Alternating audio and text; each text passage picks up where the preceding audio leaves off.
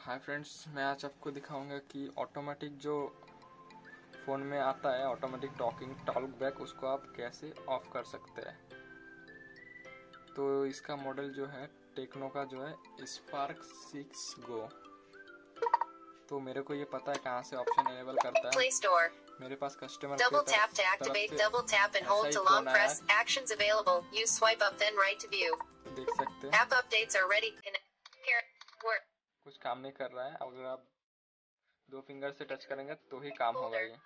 ये जो होता है ये आपका ब्लाइंड ब्लाइंड लोगों के लिए होता है। तो आपको ये ऑफ़ करने के लिए सिंपली आपका सेटिंग में जाना पड़ेगा। डबल टैप करना है जहाँ भी करना है आपको। अगर आपका मान लीजिए फ़ोन अगर लॉक है ऑन नहीं हो रहा तो आपको टू फिंगर से करना है ऐसा। अगर लॉक लगा हुआ है पैटर्न वाला तो आपको ऐसे ऐसे पैटर्न डालना है। आपको इधर सिंपली अपने एक्सेसिबिलिटी में जाना है सेटिंग में तो स्क्रॉल करने के लिए आपको टू. फिंगर्स का यूज़ करना पड़ेगा. तो इसका मैं साउंड पहले घटा देता हूँ चलिए तो देख सकते हैं इधर आपका एक्सेसिबिलिटी जो है इसमें अंदर जाने के बाद आपको. टॉल्क बैक का ऑप्शन दिखेगा इस पर आपको डबल टैप करना है.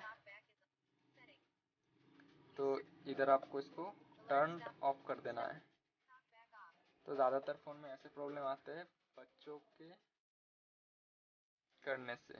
उस लोगों को पता नहीं होता कि इधर कहाँ से करना पड़ता है। बच्चे तो ऐसे ही होते हैं खेलते खेलते में कर देते हैं। तो आपको ऐसे ही इसको ऑफ़ करना है। तो वीडियो पसंद आए तो सब्सक्राइब ज़रूर कीजिएगा।